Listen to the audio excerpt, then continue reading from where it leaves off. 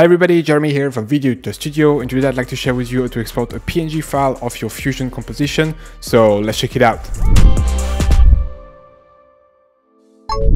Alright, so in DaVinci Resolve we're now on the edit page and here if I were to bring a title in my timeline and wanted to export a PNG file of that title, I could just go to Fusion.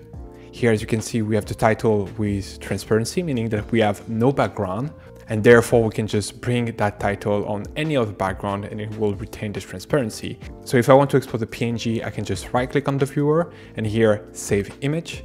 And here I'm just gonna switch from all file to PNG and then we can just uh, rename it as we want. So title one, for example, and then just export.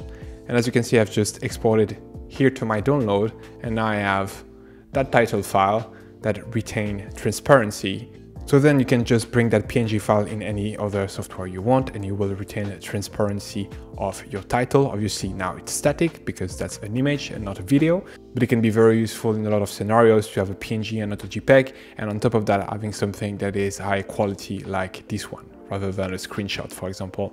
Another way I use it sometimes is just to create element and then just uh, combine everything into only one PNG file. So uh, the DRFX file is not too heavy or to not clutter too much my working area.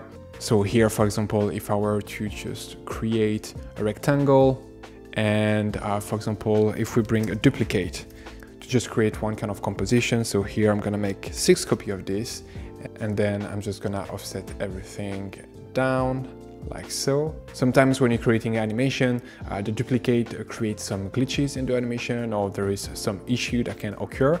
So what I will do is I will just create my design and then I can just save it as I've just done it. And then uh, square export that. So here, for example, instead of having those three, I could just bring a PNG and use that. And I will have basically the exact same thing if I don't need to reuse any control uh, on those nodes. And that's just a background or an icon, for example. Anyway, that's pretty much it. I hope this video was helpful. Please let me know in the comment what kind of video you would like to see next. Don't forget to like and subscribe and see you in the next one. Bye. Speed up your workflow and create better videos using the pack available on our website, including titles, transition, and templates, but only for DaVinci Resolve. Get started today by downloading our free starter pack containing a compilation of 20 titles curated from our library. Link in description below or at videoeditorstudio.com.